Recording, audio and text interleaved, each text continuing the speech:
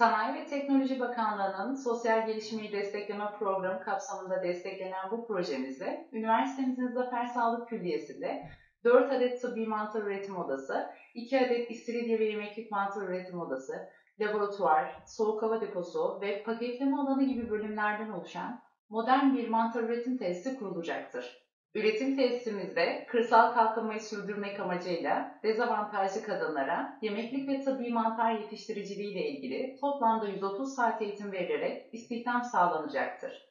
Besin değeri bakımından son derece değerli mantarlar içerdikleri biyoaktif bileşenler sayesinde sağlık başta olmak üzere gıda, ilaç ve kozmetik endüstrilerinde önemli bir yer tutmaktadır.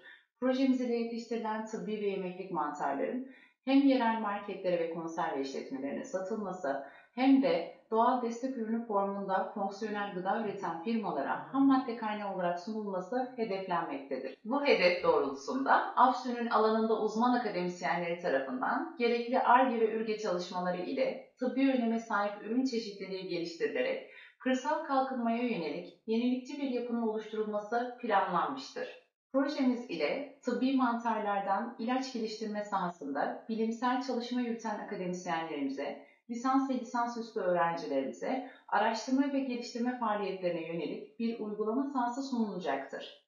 Hem bu proje hem de yürütmekte olduğumuz diğer projelerimiz ile sahada üretilen çeşitli standart ve nihai tıbbi mantar ürünlerinin bölgemiz sanayicilerine yeni faaliyet alanları oluşturması planlanmaktadır. Bu uygulama alanlarında hem akademisyenlerimizin hem de sanayicilerimizin çalışmalarıyla yerli ilaç geliştirilmesinde kullanılacak tıbbi mantarların biyoaktif bileşenleri elde edilecektir. Ayrıca tıbbi mantarların endüstriyel üretimiyle şehir ve bölge ekonomisine önemli bir katma değer sağlanacaktır.